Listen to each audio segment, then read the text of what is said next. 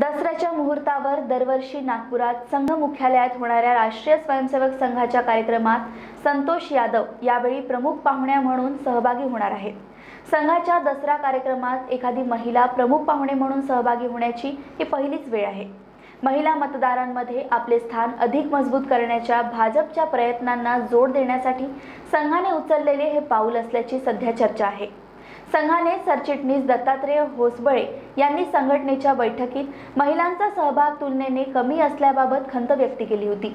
या दरम्यान आता संघाच्या वार्षिक दसरा सोहळ्यात गिर्यारोहक संतोष यादव या प्रमुख पाहुणे म्हणून उपस्थित राहणार असल्याचे आर एस एसने जाहीर केले आहे.